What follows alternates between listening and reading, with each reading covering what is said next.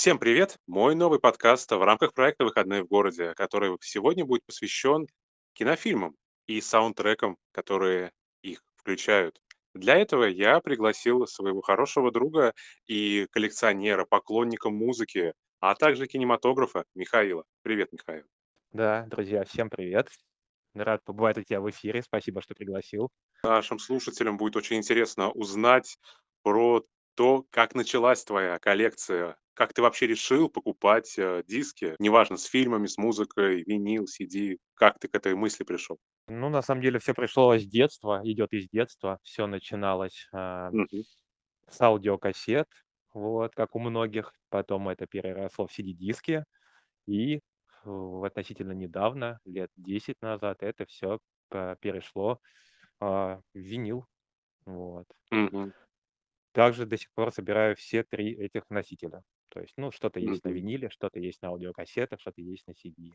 Что вообще для тебя значит этот диск, э, материальный носитель, физическая копия какого-то альбома? Это вообще, на самом деле, очень такая, м, интересная вещь, что тут сразу за задействовано три 3 чувства, а, Мгм, человеческих: такти тактильность, вот, ам, визуализация, ну и, конечно, вот сама музыка, э, слух. Это, несравнимое удовольствие. Ну вот. мгм. Я думаю, ты меня понимаешь. Я прекрасно тебя понимаю. Как знает большинство наших слушателей, я также занимаюсь коллекционированием музыки и фильмов, тоже как и ты, с детства. И все это ощущения, которые ты испытываешь, когда заказываешь, потом покупаешь, добавляешь в коллекцию. Это какая-то определенная доза эндорфина, дофамина и всего на свете, который помогает тебе жить и справляться с какими-то трудностями повседневными. И Вот. если возвращаясь еще к фильмам, да, на на физических носителях, на DVD и на Blu-ray, есть такая интересная тема, помимо доп. материалов, которые часто содержатся на дисках, а, есть еще очень интересные вещи, которые не найдешь больше нигде. Например, а анимированные меню, да, стилистические к разным фильмам. То такие вещи, ты не скачаешь нигде абсолютно. Какая-то полиграфия на любом диске, она тоже индивидуальна и какую-то свою атмосферу создает. Даже боковинка, которая она стоит вот у меня на полках, они уже все отличаются и все как-то со своим индивидуальным подходом. И ты можешь в любой момент взять, посмотреть доп. материалы, посмотреть сам фильм. А, Интервью с режиссерами с актерами. Да, да, режиссерские версии расширенные или с комментариями. Это, Да, безусловно, о да. очень полезный опыт, я считаю.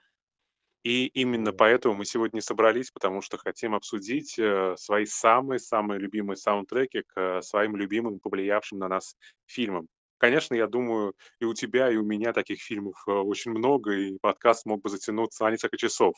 А, десятки, я думаю, даже больше, может, сотни. Поэтому решили ограничиться некоторым количеством и выбрали самые-самые вкусные, самые значимые, самые интересные. Ты можешь начинать, а потом расскажу я про свой фильм. И в порядке очереди мы будем это делать. Я расскажу о саундтреках, которые, э, так или иначе оказали на меня какое-то влияние. Вот, появились в тот период жизни, который, ну, сформировал мои музыкальные вкусы. Саундтреков очень много, очень любимых, очень хороших, старых, новых фильмов. Но вот здесь решил собрать самые-самые, так сказать, а, близкие к сердцу.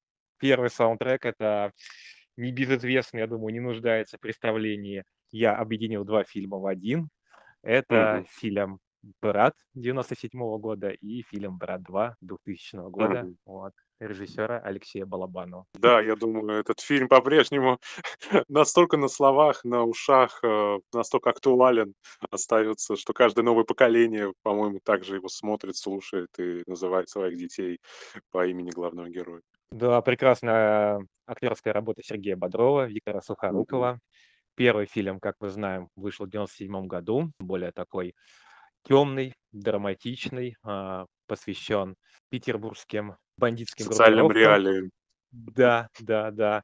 Э, в первой части саундтрек полностью состоит из песен группы Nautilus Pompilius. Вячеслава Бутусова.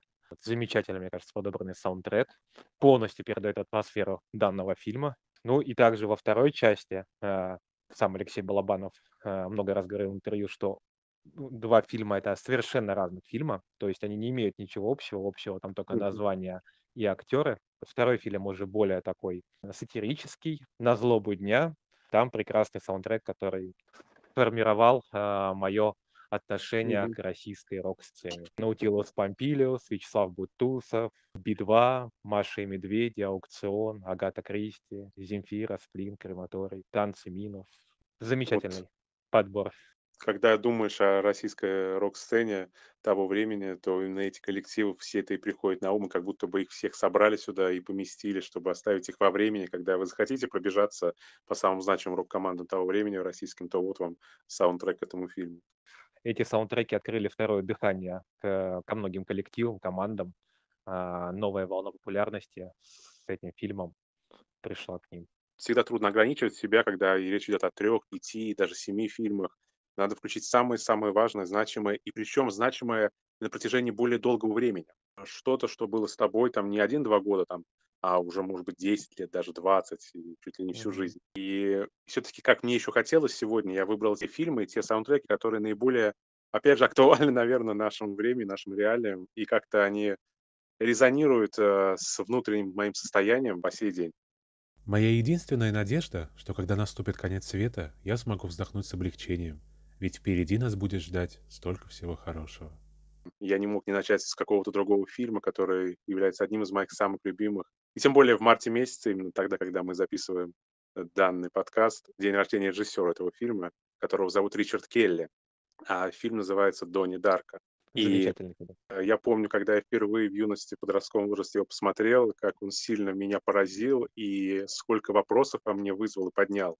То есть это одно из тех произведений, которые ты смотришь, но до конца не понимаешь, когда смотришь 1, даже 2 раз. Но ты понимаешь, что он говорит о тех вещах, которые внутри тебя сидели, но ты до конца сам не мог их сформулировать, ощутить. А вот он тебе наглядно это всё демонстрирует через, э, язык кинематографа и, конечно, через ту музыку, которая там присутствует.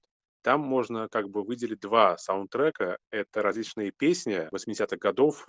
Как бы действие фильма происходит именно в 80-е годы в Америке, в семье, э, подростка, который переживает довольно сложные взаимоотношения с своими родителями, с окружающим миром и попадает, э, в странную авиакатастрофу, прямо не выходя из своей спальни. Мы наблюдаем действие, которое разворачивается на намного дальше, чем просто спальня данного подростка. Поднимаются глубокие философские смыслы, и, погружаясь в это всё, мы понимаем, э, кто на самом деле такой этот мальчик и к чему всё в итоге может прийти.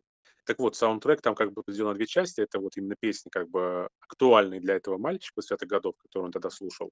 Известные английские, американские группы Hands the Bunnymen, Duran Duran, э, Tears for Fears и так далее. Но также это параллельный саундтрек, написанный специально уже для фильма Майклом Эндрюсом. Это очень вкрадчивые, минималистичные неоклассические композиции фортепианные, амбиентного толка. И, конечно, та самая знаменитая песня, кавер-версия, которую исполнил Гарри Джулиас на Mad World, и которая так, как нельзя лучше, мне кажется, демонстрирует эпический и трагический, драматический финал этого фильма. И, конечно же, для меня это является очень важным и по сей день. Что-то во мне открывает, что-то во мне щемит и ощущается, когда я его чувствую. Полностью согласен. Э, очень люблю этот фильм. Тоже думал включить его в подборку. Ого!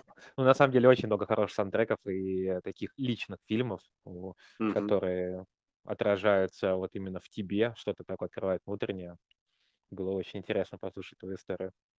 И, наверно, это самый э, частый мной пересматриваемый фильм до сих пор. То есть, наверно, ни один другой фильм я не пересматривал столько раз за свою жизнь, сколько вот "Донни Дарко" смотрел. Я просто как бы рассказывая про этот фильм, не думаю о том, что кто-то может вообще его не знать. Там играет Джейк Джилленхол, замечательный американский актер, еще очень молодой тогда. Это одна из его первых и очень важных ролей. Также там Да, играет его сестра. Мэгги Джилленхол, да. Патрик Суэйзи. Ну, вообще там очень классные актеры, очень инте Дрю Бэрримор. Так что, да и жанр этого фильма: драма, фантастика, артхаус- всё это вместе соединяется. Я думаю, каждый, кто посмотрит его, запомнит надолго. Недаром у Ричарда Келли всего 3 фильма по сей день, но каждый из них оставил огромный след в сердцах смотревших эти картины людей. Согласен, согласен. 2 фильм, который я решил выбрать, тоже не нуждается, я думаю, в представлении. А, фильм 99 года, культового, не побоюсь этого слова, режиссера, а, Дэвида Финчера, а, "Бойцовский клуб". О, ну, я был уверен, что ты его выберешь. Дэвид Финчер известен у нас, э, знаковыми картинами, такие как "7", "Игра", "Карточный домик", "Зодиак". "Загадочная история Бенджамина Баттона" Да. и многие другие. Прекрасный актерский состав, считается до сих пор один из лучших. А, Эдвард Нортон и Брэд Питт, э, лучшая их, так сказать, совместная работа, единственная. Хелена Бонем Картер.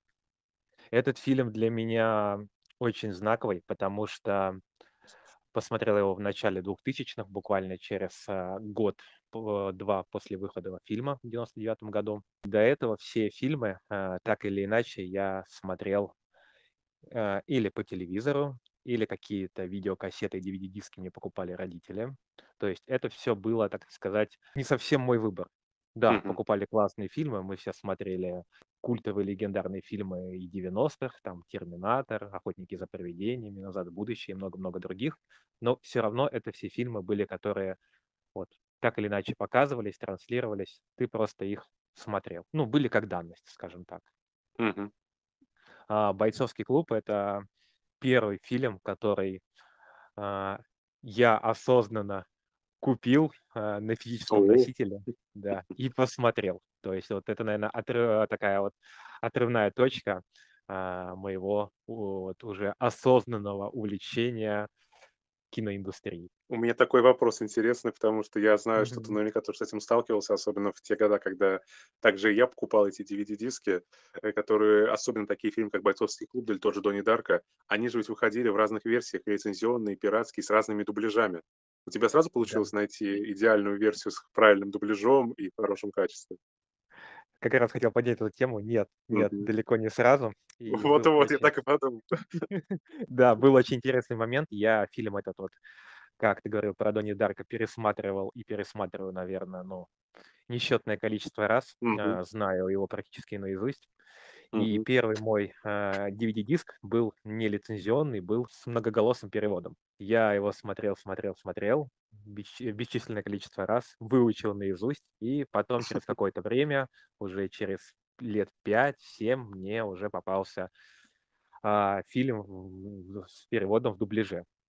Мгм. И это было неимоверно трудно перестроиться на Да, да, дубляж, когда ты знаешь весь фильм наизусть, все реплики, это было очень-очень тяжело. Но я сумел. Вот. Также этот фильм у меня есть и на DVD, и на Blu-ray. Вот. Есть также виниловая пластинка с этими э, саундтреком. Стоит отметить, что там играет в первую очередь группа The Dust Brothers. Вот, это американские композиторы. У одного псевдоним Easy Mike, у, у другого Kings Gizmo. Бойцовский клуб это их единственный саундтрек, вообще единственный полноценный альбом, который они написали. То есть Дэвид Финчер попросил записать альбом. Очень этому признательны, вдохновлены. Записали классный саундтрек, такой электронный, такой хип-хоп с элементами рока, такого пост. Я думаю, все слышали. Ну, вот. Мгм. До сих Конечно. пор это остается, да, один из культовых саундтреков и, так сказать, единственный в их дискографии. Интересный такой момент. а, Все мы знаем а, группу Chemical Brothers. Они хотели а, выразить, так сказать, почтение американскому дуэту Dust Brothers и изначально хотели назваться таким же названием. Но из-за судебных, так сказать, там, перипетий, разбирательств они это отложили. Да, ну и, конечно, стоит а, отметить заключительную песню, э, легендарную, самую известную группу The Pixies, э, Where is my mind, О, который- да. которая играет в самом конце. Группа Pixies получила популярность. Она была очень критически известная в 90-е годы в начале, но популярность и мейнстримовый успех получила именно после выхода этого фильма. Да, она прямо тоже новую волну а, популярности, узнаваемости фанатов. И вообще эта песня, она на самом деле так достаточно сильно отличается от их общего, от их общего музыкального стиля. Замечательный фильм, который начал мое увлечение кино и сбором, э, покупкой, коллекционированием фильмов на физических носителях. Здорово. Я бы еще добавил такой момент, э, который тоже касается переводов и дубляжей. И носители, на которых мы покупали фильмы, начинали, как раз тоже связанные с моим первым фильмом Донни Дарка. Впервые посмотрел по телевидению вообще, по телевизору на каких-то фильмовых каналах. Мгм. И потом долго пытался найти в программе, когда буду его повторять, чтобы записать его на ВХС-кассету. Друзья, были раньше такие прямоугольники черного цвета с пленкой, на которой можно было записывать с телевизора. Кстати, я Потом скажу, что актуально до сих пор это. Многие люди даже сейчас, в 2024 году, я знаю, собирают фильмы исключительно на ВХС-кассетах. Да ладно, серьезно?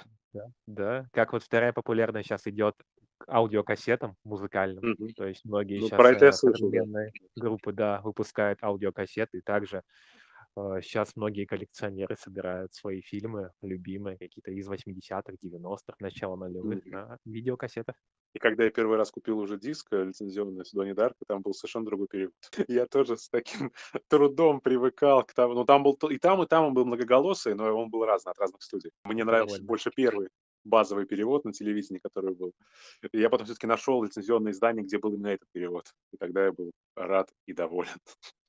А «Бойцовский клуб» я ходил несколько лет назад со своим другом э, в кинотеатр смотреть его в оригинальной озвучке, без каких-либо дубляжей, просто послушать, как актеры все это делают, какие эмоции выражают. Это тоже был крутой, незабываемый опыт.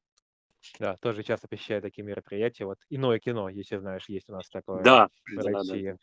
Они постоянно выпускают, да, фильмы старые, э, реставрируют, э, выпускают в оригинальной озвучке с субтитрами. Тоже незабываемо.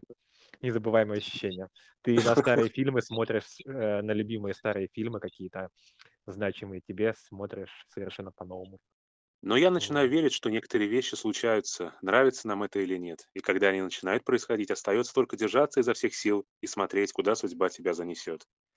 Это фраза из книги «Как я теперь живу», которую написала Мэг Росов, и по книжке которой э, вышел фильм, который я хотел сегодня упомянуть и думал, ну не слишком ли это будет большая для него честь и большая для него популярность, потому что, конечно, много фильмов, но именно он мне приходил в голову, когда я думал о каких-то наиболее сегодня отражающихся, извиняющих во мне картин. Фильм называется «Как я теперь люблю» с Сир Широном в главной роли. Возможно, ты его Смотрел, видел, смотрел, да, смотрел. Вот. совершенно недавно, случайно относительно наткнулся тоже. Где-то в рекомендациях. Был безумно приятно удивлен. Недалекое будущее, где 15-летняя Дейзи приезжает из Нью-Йорка в Лондон к тете и дяде и влюбляется без памяти в своего кузена. Но на первой любви встает препятствие, разворачивается Третья мировая война. Экранизация этой книги, мне кажется, очень поэтической и очень тонкой и красивой. На первый взгляд, это такая приключенческая, кажется, постапокалиптическая подростковая мелодрама.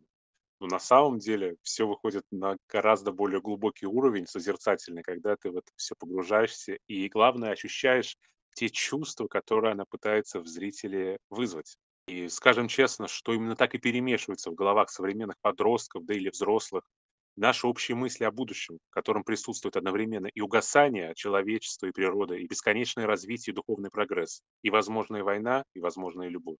Все-таки любовь, какие бы обстоятельства вокруг ни происходили, остается базовым чувством и все побеждающей эмоцией, и все побеждающей силой даже в наше время, какие бы обстоятельства и трагические в том числе не происходили. Да, соглашусь с тобой, кино такое очень личное. Я посмотрел его прям один, можно сказать, на одном дыхании. Я с тобой полностью согласен. Великолепный фильм. Великолепный. Вот говорю, и бегут мурашки. Режиссер Кевин Макдональд э, долго выбирал актрису, которую хотел взять на главную роль, просматривал несколько десяток разных американских молодых актрис, но в итоге остановился выбор на ирландке Сир Ронан, которая во время первых прогонов и прочтения сценария э, довела до слез всю съемочную группу.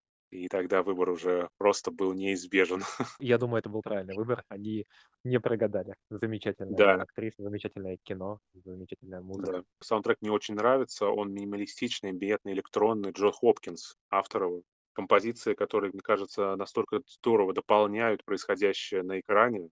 И они лаконичные, они довольно атмосферные, но они очень точные.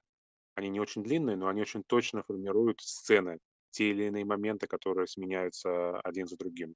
И плюс еще есть там главная песня, которую исполнила Наташа Хан, она же ис- исполнительница из группы Bad for Lashes, Garden Hearts. Так что и саундтрек, и фильм здесь прекрасно друг дополняют, ну и, конечно, остаются актуальными для нас сегодня. Да, замечательный фильм. А захотелось еще раз пересмотреть. Да, следующая картина 2001 года. То есть, видите, мы идем Мгм. так по возрастанию. Тоже легендарный фильм, я думаю, культового режиссера Кэмерон Кроу. Фильм называется «Ванильное небо». Да, это саундтрек, который, мне кажется, и на меня тоже повлиял. Я тоже могу включить его в свой список сегодня. Да, вообще Кэмерон Кроу подходит, так ск сказать, к своим фильмам очень с трепетом, особенно к саундтрекам. Такие фильмы у него есть известные: "Одиночка", "Почти знаменит", "Скажи Мгм. что-нибудь", вот легендарный фильм. Да. "Элизабеттаун", "Мы купили зоопарк". Вот все вот эти вот фильмы славятся прекрасными музыкальными сопровождениями и саундтреками. Да, и актрисами, которые играют главные роли, там Кирстен Данст, Скарлетт Йоханссон и Да, другие. да, вот в "Ванильном небе" тоже играют прекрасные актеры. Это, конечно же, Том Круз, Пенелопа Круз, да. да, и Кэмерон Диаз. Многие, думаю, не знают, что фильм "Ванильное небо"- это ремейк фильма 97 года испанского, а "Открой глаза", котором, э, Пенелопа Круз тоже сыграла главную роль. И она связывает своим камео эти 2 картины. Да, оригинал она получила награды, "Оскар", "Ванильное небо" Кэмерон Кроу, к сожалению, не получила наград, там были только номинации. А единственную награду получил сэр Пол Маккартни, который написал, э, одноименную песню к этому фильму "Vanilla Sky", которая получила, а, боюсь ошибиться, если не "Оскар", то точно "Золотой глобус". Прекрасное множество музыкантов играет: а, R.E.M., Radiohead, Ну, Monkees. я говорю, да, классика всего того, что сформировало многих из нас. Джефф Бакли, Боб Дилан, вот. И, конечно, э, которых, э, мы уже упоминали, ребят Chemical Brothers. Безумно приятный, красивый саундтрек. На самом деле в саундтрек вошли очень мало композиций, то есть в официальной саундтреке, э, 18 композиций, насколько я помню. А, в фильме звучит больше 40 песен, небольшими какими-то отрывками, но они, к сожалению, не вошли все в оригинальный саундтрек, потому что их бесчисленное количество. Вот, э, было выбрано самые-самые-самые такие знаковые композиции. Мне очень нравится идея этого фильма. Фильм, наверно, немножко похож, а, на "Вечное сияние чистого разума". Такой общий у них антураж, шарм. Да, фильм попался мне в тот момент, когда были, э, проблемы в отношениях, переживания, подростковые. Всё это отражено в фильме, и для меня этот фильм и саундтрек до сих пор остается одним из любимых, постоянно пересматриваю. И мне кажется, это та картина еще, вообще, мне кажется, всё это все картины, про которые мы сегодня говорим, которые дают нам помощь и поддержку в сегодняшнем времени. Когда мы их смотрим, мы находим какие-то ответы для себя и какой-то смысл, и какие-то решения. Да, ты когда пересматриваешь эти фильмы, которые вот тебе близки к сердцу, они, во-первых, дают те какую-то надежду, тепло. Мгм. И многие фильмы, а, по-разному ощущаются. То есть, если ты фильм смотрел там какой-то в 20 лет, потом ты смотришь, а, в 30 лет, а, в разные, э, промежутки временные, фильмы воспринимаются по-разному. То есть ты находишь что-то новое, ты разные темы понимаешь по-разному. Мне кажется, это очень-очень прекрасно. Одна и та же картина дарит тебе разный и спектр эмоций, и разную почву для размышления. "Чужие фантазии" очень заразная. Она переносила одно на другое. Так зарождается бред. А бред- это ложь, которая говорит правду. Это цитата еще из одного фильма, который является ремейком одной картины. Этот фильм, о котором я сейчас, дальше расскажу. Он вышел сравнительно недавно, в 2018 году, и, наверно, является одной из тех картин, которая оставила на меня наиболее сильное впечатление за последние годы, может быть, за последние десятилетия, которые я смотрел. Но если до этого мы говорили про фильмы драматического содержания, триллеры с элементами артхауса, постапокалиптические моменты, то здесь это фильм ужасов в таком прям классическом понимании. Фильм называется "Суспирия", и он является ремейком, а, знаменитого фильма ужасов 70-х годов. Данный фильм снял, а, Лука Гуаданино, известный современный итальянский режиссер. И саундтрек, который, э, звучит в этой картине, он не может не покорить. Даже если вы не смотрели фильм "Суспирия", но послушайте саундтрек, который написал Том Йорк из Radiohead, вы как будто бы просмотрите фильм "Суспирия". Настолько точно, органично и, э, естественно Йорк выражает атмосферу, чувства и даже сюжетные направления этой картины. Том Йорк из Radiohead редко пишет какие-то саундтреки, и даже если какие-то песни Radiohead использовались в фильмах, то это было просто выбрано режиссерами, согласовано с группой, с лейблами, но чтобы вот он согласился прям от и до написать что-то новое для какого-то фильма, такое крайне редко бывает. Да, это тот случай, когда фильм и музыкальное сопровождение просто неотделимы. Это как а, Да. один большой симбиот. Для меня этот фильм это просто шедевр на стыке высокого парящего искусства и глубокого телесного ужаса, которое рассказывает о каком-то какой-то беспросветной жестокости и зле истории 20 века, но показывает все через призму искусства и науки, любви и страха, человека и чудовища, через боль и неприходящий какой-то земной мрак, что должен излиться, в итоге укутав тебя в какие-то объятия, чтобы потом начать все заново, как будто бы возродиться. И как нельзя лучше саундтрек Тома Йорка. Главная актриса этого фильма Дакота Джонсон и Тильда Свинтон, сыгравшая здесь целых три роли. Конечно, невозможно устоять перед этой картиной и перед той тяжкой атмосферой, которую она рождает. В двух словах, это фильм о том, как в Европу приезжает американская балерина, устраивается в школу балетную, и в этой школе начинает происходить э, сначала странные, а потом ужасающие моменты. На стыке вот этого чего-то красивого и чего-то мерзкого и рождается что-то уникальное, которое происходит в этом фильме, который, конечно же, на мой взгляд, на порядок сильнее поднимает всю эту тему истории, которые были в оригинальной картине 70-х годов. Здесь все это приобретает какую-то особую глубину и особый смысл, который, мне кажется, актуален тоже и по сей день, особенно по сей день. Да, я с тобой согласен. А, еще хочется отметить, что очень а, красиво, можно сказать, стильно снят фильм в прекрасных тонах. То есть как будто ты смотришь не фильм, а какое-то театральное произведение. До, до глубины души и сопровождение, да, музыкальное сопровождение Тома Йорка дает какое-то просто... а, У тебя бегут мурашки. Я ходил на него в кино тоже, когда он выходил.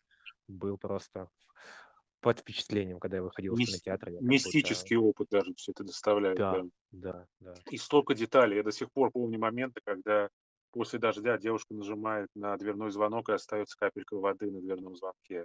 Когда отлупливается краска со стен. Это все такие нюансы, детали, которые можно не замечать, но которые прорабатываются создателями фильма для того, чтобы атмосфера и антураж были максимально естественны и правдоподобны.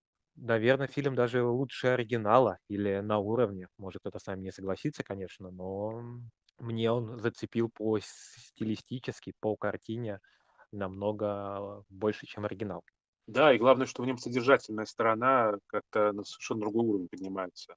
То есть это не просто телесный хоррор какой-то, это гораздо Да, в больше. оригинале, стоит отметить, тоже была очень а, такая запоминающаяся музыка. Да, да. Ам, Саундтрек там был просто музыкальное сопровождение, а, очень гнетущее. Даже слушать ее неуютно, довольно так неприятно. Я как-то пытался включить вечером, было не по себе. И ты одумался и выключил, и. Да, да. А следующий фильм, немножко отличаемся, э, будет комедия.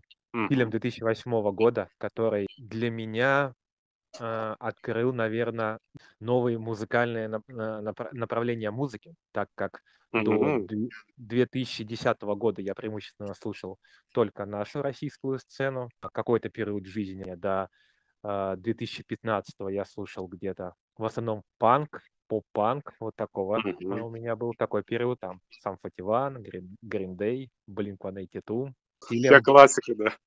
Да, а этот фильм открыл для меня, ну, наверное, всю инди-сцену 80-х, 90-х годов, который стал такой новой отправной точкой, которая до сих пор меня, так сказать, самый большой интерес представляет в музыкальном плане. Давайте Это скажем, что Михаил является администратором нескольких пабликов про знаменитые американские инди-группы. В двух словах скажи. Да, а, про группу, самую такую, мою любимую популярную группу, которая как раз началось знакомство именно с этого фильма, который я сейчас вам расскажу. А, группа Юла Тенга. Тоже. Американцы из э, города Хабокина.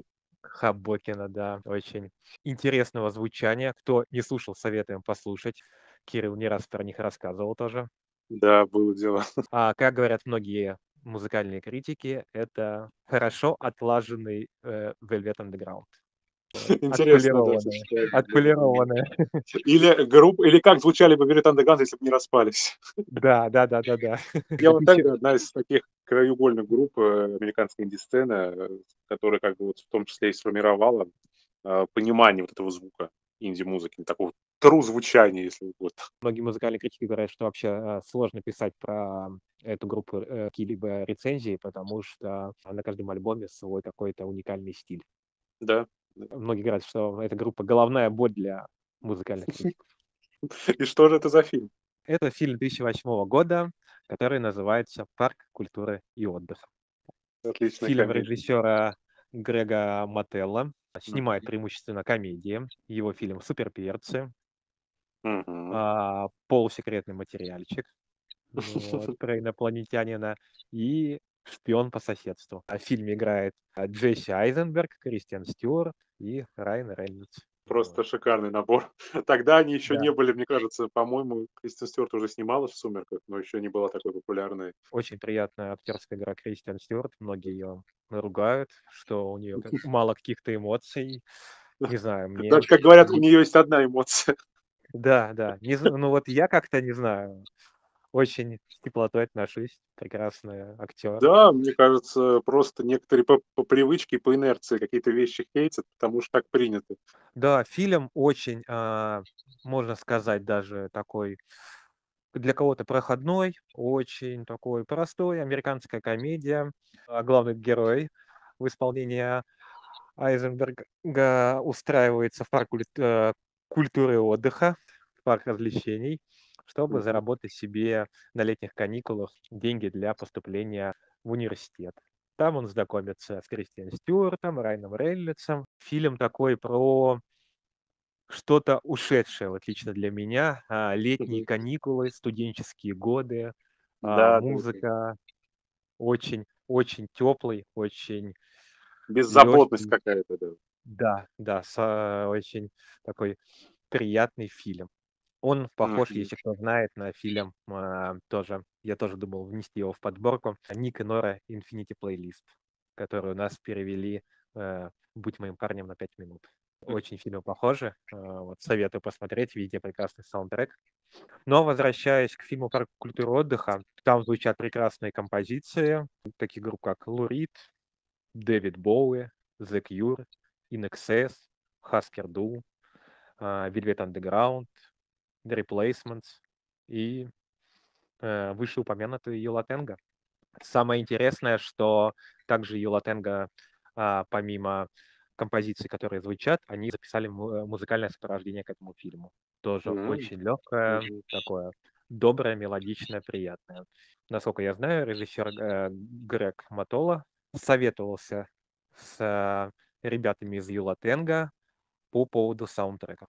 То есть вот вот эти все композиции, которые звучат в фильме, группы, которые La Tengo любили, слушали, вот, и считали, что они будут, так сказать, приятно и подходяще звучать в данном фильме. Очень теплый фильм. Щас у нас наступает весна-лето. Обязательно, обязательно всем советую посмотреть, кто не смотрел. Безумно вам понравится. Пап, ведь в мире нет настоящей магии, да? А с чего ты взял, что эльфы- это нечто более волшебное, чем, например, киты?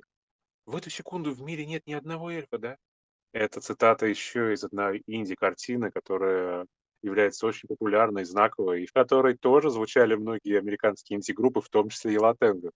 Эта картина вышла в 2014 году, и называется она "Отрочество" режиссера Ричарда Линклейтера. Замечательный фильм. Реальная хроника взросления американского мальчугана Мейсона от 1 класса в школе до 1 дня в колледже и складывается из небольших эпизодов, показывающих становление и отношения с родителями ребенка, подростка, юноши и окружающими событиями в Америке. Это фильм снимался в течение 12 лет в реальном времени. За это время актеры менялись и внешне, и внутренне, и физически. Это является попыткой уловить ту самую трансцендентность американского инди-кинематографа, который, мне кажется, здесь показывается просто блестящим образом. С одной стороны, кажется, ничего не происходит, обычная жизнь, но на самом деле творится такая настоящая, но для каждого неповторимая эта самая жизнь. Через детство и юность к пропасти средних лет. Моя жизнь просто уходит этап за этапом. И ты знаешь, что потом? Моя чертова похороны. Еще одна цитата из этой картины. Саундтрек тут тоже потрясающий. Он как бы охватывает нулевые годы. Начинается в начале нулевых э, песня Coldplay Yellow, окончается песня Deep Blue Arcade Fire с их альбома «Культовой провинции» 2010 года. Именно обложка альбома Arcade Fire провинции была на мне на футболке, когда я ходил в универ. Этот фильм тоже оставил во мне большое влияние. И не скажу, что я буду часто его пересматривать, но тех моментов, когда я видел его, взаимодействовал с ним, они, конечно, отразились на мне и сформировали меня, и дали мне понять, что такое трансцендентное кино. Да, очень легкий тоже. а, С одной стороны легкий, а с другой Да? стороны глубокий фильм, а, который дарит такое вот какое-то тепло. Как раз вот сейчас Да. наступает весна. Кто не смотрел, всем советуем посмотреть. Мне безумно нравится обложка данного фильма, где главный герой лежит на зеленой траве, вытянув руку. Мгм. Что-то вот в этой обложке есть такое очень теплое, личное, что И настоящее, у тебя, да, с детством. Хоть это как бы, можно сказать, что это не наша культура, да, фильм американский, но очень много связывающих моментов с, Да, с нашим детством. Потому что детство у нас у всех одни и те же эмоции глобально, мы испытываем одни и те же мечтания, одно и то же стремление к какому-то чуду, к тому, что все-таки эльфы в этот момент где-то существуют. Да, и что все мы взрослеем, но все равно надо э, в, в себе, в душе, внутри себя, в сердце, хоть немного оставлять Да. внутреннего ребенка. Он помогает справляться со многими вещами обыденными, тяжелыми, непредсказуемыми, Да. даже когда ты уже совершенно взрослый. Следующий фильм 2009 года. Я рекомендую посмотреть обязательно всем. Фильм Спайка Джонса, режиссера, который снимал такие культовые фильмы, как «Быть Джоном Малковичем», «Адаптация», «Она». Фильм называется «Там, где живут чудовища». О, ну я слышал про него тоже, да. Вообще завязка фильма довольно бана... ну, такая, ну, довольно банальная, не будем скрывать этого. Похож фильм относительно на а, тоже известный фильм «Мост в Терабитию». Мгм. Думаю, о нем многие слышали. В общем, э, главный герой, подросток, после ссоры э, со своей мамой убегает из дому и попадает на остров, там, где, собственно, и живут чудовища. Вот. Свой небольшой выдуманный мир прекрасен фильм тем, что вот безумно прекрасен. Всем э, советую его посмотреть. А, что все чудовища, вот эти вот, которых он, э, с которыми он общается, с кото- которых он видит, там нет ни капли компьютерной графики. Все эти чудовища — это огромные костюмы, в которых находятся обычные люди. Фильм происходит э, в, в красивых летних теплых тонах, э, в красивых, так сказать, лесах. И знаете, вот когда падает, э, например, свет какой-то э, сцены заката, сцены рассвета, и вот на этих чудовищ падают лучи солнца, вот это непе- непередаваемое ощущение, ни одна компьютерная графика э, не сможет вот, а, передать вот, вот эту такую визуализацию. Стоит отметить, что фильм а, снят по детской книге, э, такая детская книга с картинками писателя и художника Мориса Сендека, которая вышла в 1963 году. Этот фильм настолько меня поразил, что я купил Blu-ray диск с этим фильмом. А, У меня есть виниловая пластинка, достаточно редкая, дорогая. Есть две совершенно разные игры, э, посвященные этому фильму. И есть вышеупомянутая книга. Безумно. ничего себе. Да, да. Это просто Этот фильм, шикарная коллекция, да. этот фильм, вот последний, наверное, я посмотрел его в 2020 году, вот, Мгм. э, достаточно поздно, но он как-то для меня вот отложился. Это вот нечто большее, чем просто фильм. Всем советую посмотреть. Там звучит замечательный саундтрек, который написала вокалистка Карен О, ну вот, Из из группы. ЕЕС, да. Саундтрек отличается от ее основного музыкального коллектива. Он Очень более сильно отличается, да. Да, да, он гитарный, очень легкий, такой мелодичный. Вот. И Мгм. она поет, она поет там акустические песни под гитару. Очень а, спокойным голосом. Да, с детским хором. Саундтрек Мгм. называется вот Там, где живут чудовища, Карен Оу и The Kids с какими-то детками, непрофессиональными музыкантами собрали. Они где-то напоют отдельно сольные песни, где-то вместе и детьми, которые подпевают. А она получила э, за этот саундтрек «Золотой глобус». Очень, Ничего очень теплый, теплый душевный фильм про взросление. Вот, тоже вот может немножечко, вот как ты говорил про фильм «Отрочество». Каждое чудовище там, которое видит главный герой, отражает какой-то характер, какое-то его душевные переживания. Купе с музыкой, а, с сопровождением визуальным, это очень-очень такое сильное для меня кино. И вообще Спайк Джонс, если кто не знает, а, у него очень красивая картинка в его художественных фильмах, потому что долгое время он снимал клипы известных команд, таких как Sonic Youth, Динозавр Джуниор, Визер и множество других Мгм. коллективов, кто еще начинал со съемки клипов. Так что фильм это один, можно сказать, большой визуально красивый такой вот клип. Я сейчас думал о том, какой же фильм выбрать э, заключающим сегодня. И скажу честно, это не спланировано все, это все экспромтом. Но один из двух вариантов как раз был фильм Спайка Джонсона «Она». И я тоже хотел рассказать, как он красиво снят, какой там саундтрек Arcade Fire написали, какой он актуальный для нашего времени и для того, что происходит э, с современными технологиями. Тогда он еще снимался 10 лет назад, когда еще мы многие вещи не, не знали, как они будут развиваться, но догадывались. И, в принципе, много из того, что там показывается, про одиночество, про э, технологии, которые одновременно этому и способствуют, но и одновременно и помогают справляться с этим одиночеством. Ты рассказал уже про Спайка Джонса столько всего хорошего, что я все-таки решил этот фильм не выбирать сейчас, а назвать другой. И этот другой фильм, мне кажется, тоже логичным, исходя из того, что сегодня мы все-таки больше говорили даже, ну и про фильмы, но все-таки основной был напор на саундтреки, на музыкальную составляющую. И странно было бы не упомянуть э, сегодня ни один фильм, снятый про музыкантов, или самими музыкантами, или посвященные музыкантам. То есть такие какие-то байопики или какие-то картины, где музыканты играют главную роль.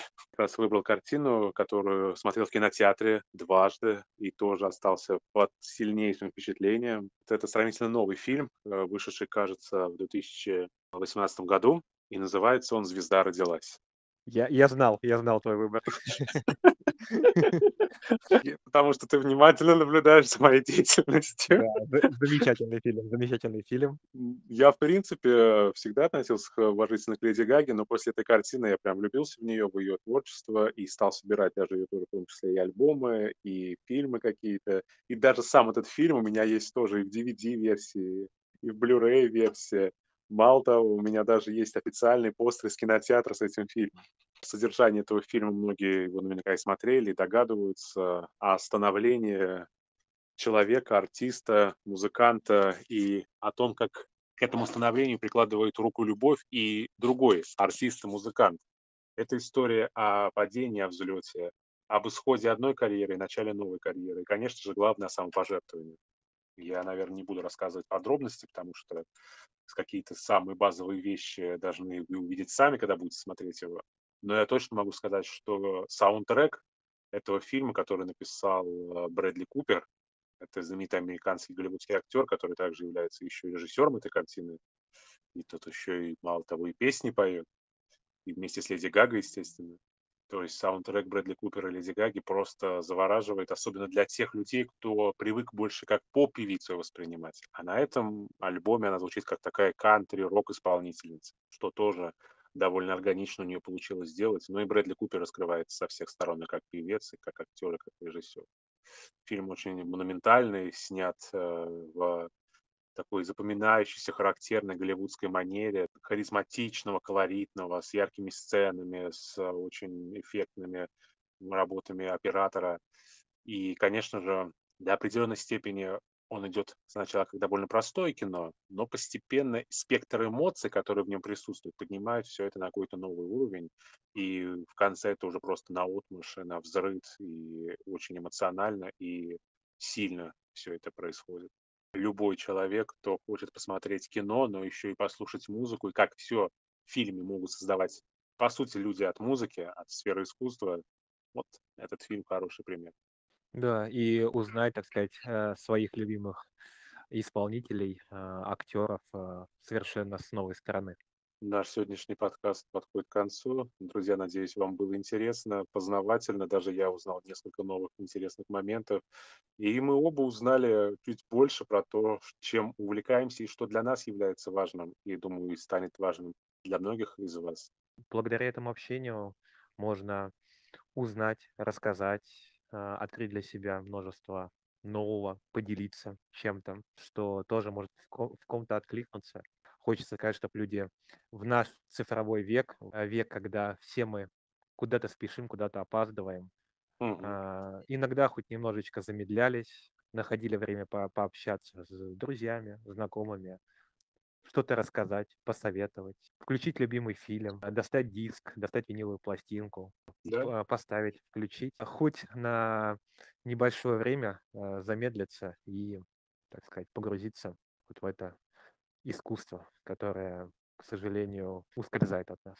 И посвятить время конкретно просмотру фильма, прослушиванию музыки, а не делать это фоном и отдать себя полностью кинематографу или музыке в данный момент, когда вы слушаете или что-то смотрите. Да, друзья, на, на этом мы будем прощаться. Всего вам доброго. Слушайте хорошие фильмы, смотрите, слушайте хорошие фильмы. Слушайте хорошие фильмы. Трижды Вот. слушайте хорошие фильмы. Да. Всем пока. До свидания.